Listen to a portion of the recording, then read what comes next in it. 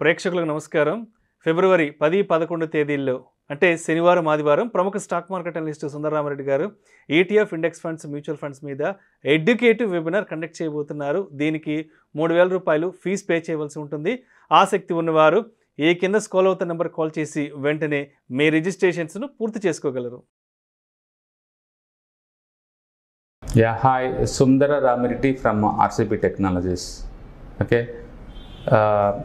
పేటిఎంలో ఎంతమంది mutual funds ఉన్నాయి అంత ఎంత ఎఫెక్ట్ అయ్యారు లాస్ట్ టూ డేస్ నుంచి వచ్చిన బ్లడ్ బాత్లో అనేది మనం ఇప్పుడు చూద్దామండి. గజం కేవలం పదిహేను వేల ఐదు వందల రూపాయలతో నూట యాభై గజాల భూమి కేవలం ఇరవై మూడు లక్షలు మాత్రమే. టోటల్గా పేటిఎంలో అరవై ఎనిమిది మ్యూచువల్ ఫండ్స్ ఇన్వెస్ట్ చేసినాయండి. రఫ్గా around nineteen hundred crores invest చేశారు.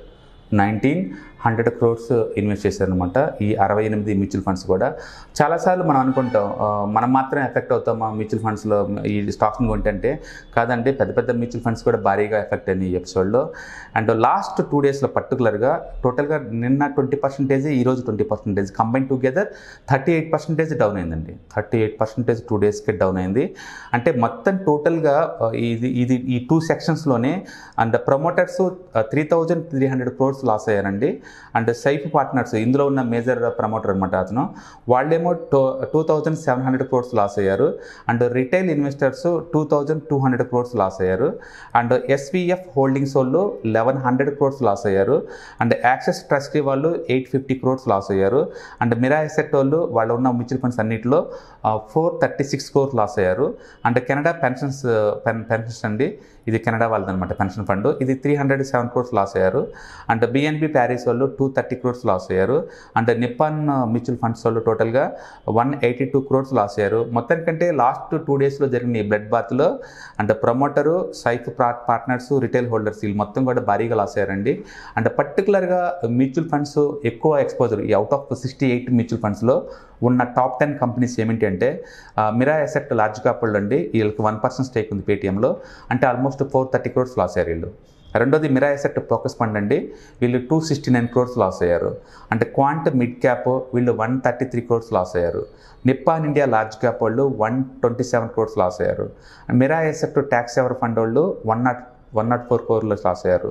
అంటే నిప్పాన్ ఇండియా మల్టీ క్యాప్ వాళ్ళు and hundred and one crore loss అయ్యారు.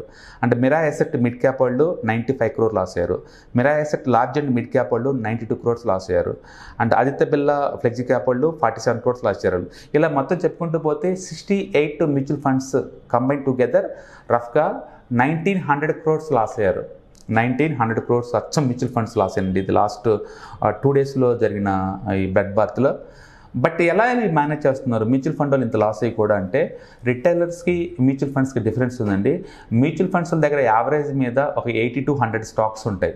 అంటే వాళ్ళ వాళ్ళ అలొకేషన్ వన్ నాట్ టూ పర్సెంటే చేస్తారు ఈ స్టాక్స్కి అందుకని స్టాక్ జీరో అయినా సరే వాళ్ళకి వచ్చేది టూ పర్సెంట్ అండి. జస్ట్ టూ పర్సెంట్ లాస్ అవుతారు. అందుకని మ్యూచువల్ ఫండ్ ఇండస్ట్రీ వాళ్ళు అస్సలు సఫర్ అవ్వరు. ఇలాంటి కంపెనీ మొత్తం జీరో అయినా సరే వాళ్ళు పెద్ద ఎత్తున సఫర్ అయ్యేది ఉండదు. ఎందుకంటే వాళ్ళకున్న ఓవరాల్ అసెట్లో ఈ వంద కోట్లు రెండు వందల కోట్లు అంటే నథింగ్ అనమాట బట్ యాజ్ ఏ రిటైలర్ మన దగ్గర ఉన్న స్టాక్స్లో ఏం జరిగిందంటే ఎక్కువ మొత్తం అలకేట్ చేస్తుంటారు. ఫర్ ఎగ్జాంపుల్ మన దగ్గర పది స్టాక్సే ఉన్నాయి అనుకోండి మీకు నచ్చితే ఈవెన్ టెన్ పర్సెంట్ కూడా అలకేట్ చేస్తారు. ట్వంటీ పర్సెంట్ కూడా అలకేట్ చేస్తుంటారు. అలా ఎక్కువ అలకేట్ చేయడం వల్ల అలాంటి స్టాక్స్ ఏదైనా కొలాప్స్ ఏంటంటే మనం ఎక్కువ లాస్ అవుతుంటాం అనమాట అందుకని అలకేషన్ చాలా ఇంపార్టెంట్ ఇలాంటి ప్యానిక్ సినారియోలో మనకు అర్థమైంది. మనకి ఇన్స్టిట్యూషన్కి మధ్య ఉన్న డిఫరెన్స్ ఏంటండి అది? వాళ్ళు రిస్క్ మేనేజ్మెంట్ బాగా చేస్తారండి. అంటే వాళ్ళ దగ్గర ఉన్న ఏ స్టాక్ అయినా సరే వంద శాతం లాస్ అయినా సరే వాళ్ళకి వచ్చే లాస్ మొత్తం టూ పర్సెంట్ త్రీ పర్సెంట్ కన్నా ఎక్కువ ఉండదు. మనం అలా కాదు.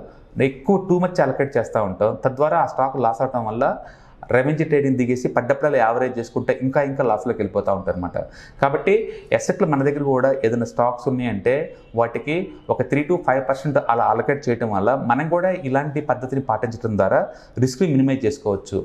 మన దగ్గర స్టాక్స్ ఉన్నప్పుడు ఏదో ఒక రోజు ఇలాంటి రిస్క్ మన మన స్టాక్స్ కూడా జరిగిద్దండి. అంటే పేటీఎం మన దగ్గర ఉండొచ్చు లేకపోవచ్చు. లేకపోవడం అనేది మన అదృష్టం అంతే. ఉంటే ఖచ్చితంగా లాస్ అవ్వాల్సిందే. లాస్ట్ టూ డేస్లో థర్టీ పర్సెంట్ లాస్ అవ్వాల్సిందే. బట్ ఇలాంటి లాస్ని ఎలా హ్యాండిల్ చేయాలి? లాస్ట్ లాస్ వచ్చిందని ఎవరు తెలియదు కదా. సడన్గా ఆర్బీఐలో ఇలా బ్యాన్ చేస్తారు బ్యాడ్ న్యూస్ వస్తుంది అని అని అనుకోరు కదా.